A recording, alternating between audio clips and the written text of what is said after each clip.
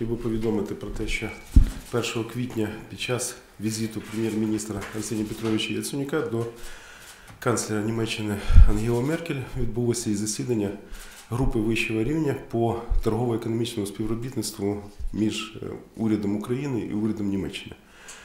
Були підписані два документи дуже важливих. Це документ про взаємодію і е, це меморандум про взаємодію між урядами України і Німеччини, а також було підписано е, додаткову рамкову угоду з додатком між урядом України та банком КФВ, банком розвитку Німеччини про надання 500 мільйонів євро е, е, в підтримку економіки України. Дуже прості речі. Я б хотів би просто розказати, на що саме спрямовуються ці кошти, яким чином будуть зараз здійснюватися проекти, на яке буде відведені ці кошти. І таким чином це не тільки підтримка України в розрізі 200 мільйонів євро, а це ще 100 мільйонів на виконання проєктів по енергетиці, 100 мільйонів на виконання проєктів по інфраструктурі, а також 100 мільйонів на підтримку і відновлення систем життєзабезпечення Донецької і Луганської області.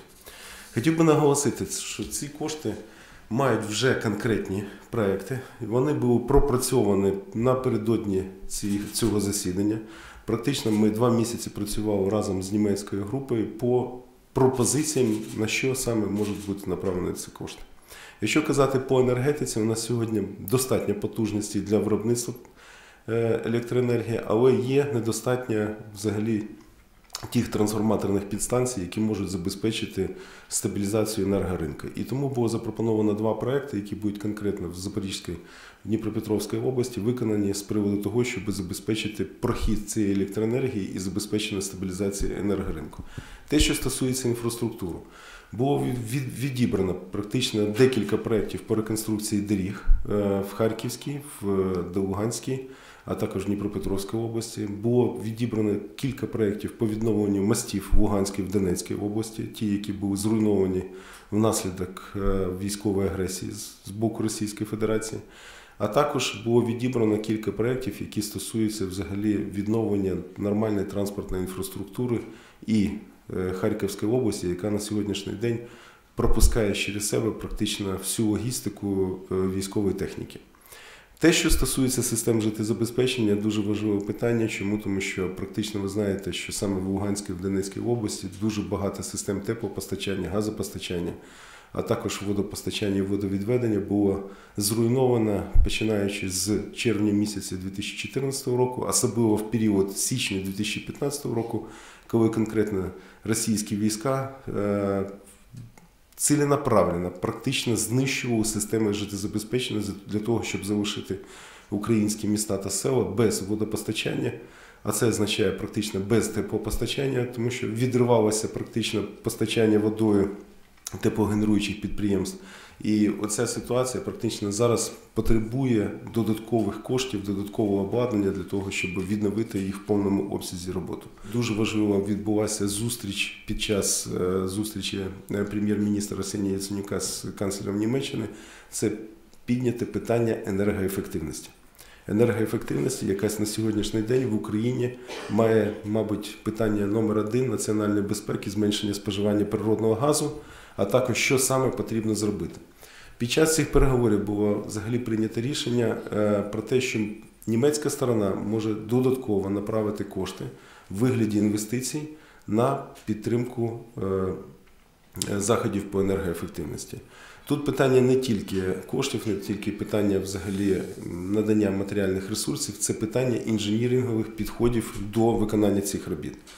На сьогоднішній день ви знаєте, що ми практично дуже багато залучаємо і експертів, і спеціалістів з Західної Європи для контролю за виконанням робіт або на, на по наданню експертної допомоги. Це стосується і виконання робіт по дорогам, да, те, що стосується залучення сюрвеєрів.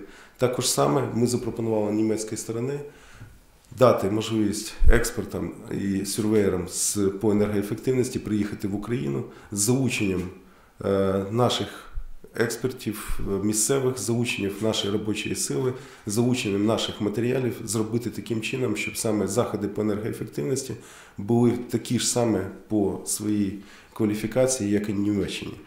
Тому це питання було дуже гостре, піднімалося воно і на зустрічі з міністром навколишнього середовища енергетики та ядерної безпеки е, пані Барбари Хендрікс. І зараз ми шукаємо разом модель, яким чином сьогодні ми можемо взагалі е, прийняти інвестиції і яким чином ми можемо забезпечити їх повернення. Зараз у нас законодавча база практично лежить вже в парламенті. Це закон про енергосервісні компанії, який, в принципі, дозволяє сьогодні енергосервісним компаніям е, працювати по термомодернізації будинків, по обліку, по термосанації і таким чином, вкладаючи кошти, е, зменшувати споживання природного газу. Закон про житлово-комунальні послуги, який чітко визначає, де та межа, де виконує свою роботу виконавець, і де споживач повинен оплатити цю, ці послуги. І тому оці два законопроекти вони дозволяють на сьогоднішній день практично запускати енергосервісні компанії на ринок України і виконувати роботу. Також саме хотів би ще додатково повідомити про те, що на наступному тижні на засіданні Кабінету міністрів ми розраховуємо прийняти постанову, згідно якої ми будемо компенсувати не тільки 20% при придбанні е, негазових котлів, також саме ми будемо компенсувати 30% при утепленні термомодернізації індивідуальних будинків, а також 40% е, при утепленні багатоповерхових будинків. На це виділяється урядом 500 мільйонів гривень. Ці гроші розподіляються по трьом напрямкам. І я би хотів би запросити всіх, е, хто сьогодні потребує виконання таких робіт, звертатися до Ощадбанків. Ощадбанк вибраний як оператор цього процесу для того, щоб через оформлення договору через Ощадбанк люди могли отримати не тільки компенсацію в вигляді відсотків, а ще й отримати кредит на виконання цих робіт. Тому от питання енергоефективності з початком, верні, закінченням опалювального сезону, так і початком літнього сезону, за який ми повинні дуже багато зробити. Я би хотів би, щоб е, чітко всі українці долучалися до енергоефективних заходів. Ми зараз окремо працюємо з муніципалітетами. Так, для того, щоб залучити ще додаткові гроші, які на сьогоднішній день є в фонді E5P, це е, фонд енергоефективності, в якому на сьогоднішній день приблизно є 100 мільйонів євро. І ми на сьогоднішній день ведемо переговори, щоб грандові гроші, які йдуть поряд з цим кредитом, могли залучатися і е, нашими муніципалітетами на погашення можливої курсової різниці, яка виникає інколи при розрахунках з цими кредитами.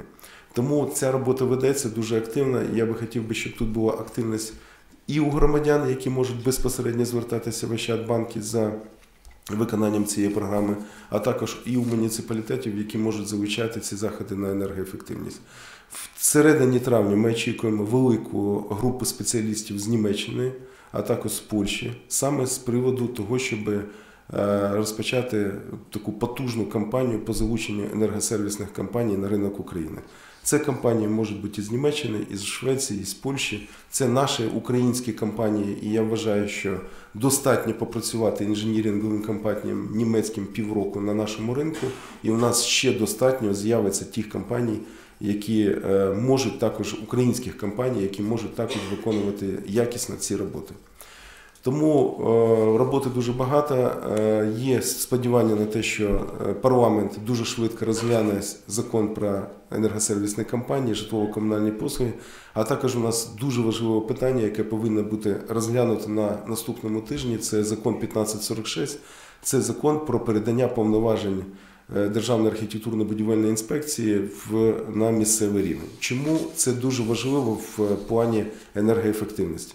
Практично всі роботи, які виконуються по будівельному напрямку, вони потім здаються і приймаються е, Державною архітектурно-будівельною інспекцією. Постійно виникають проблеми і суперечки між місцевою владою і е, інспекцією. Тому тут питання в тому, що якнайшвидше передати ці повноваження на місця для того, щоб активніше і енергійне було е, проведення цих робіт. Тому я б хотів би до народних депутатів звернутися, не затягувати цей процес. Цей процес дуже затягнутий. У нас перше читання пройшло в січні місяці. Зараз там було створено робочі групи, були експертні групи. Постійно хтось намагається трошки притормозити цей процес, але нам потрібно це зробити для того, щоб мати потужний рух на місцях для виконання робіт також по енергоефективності.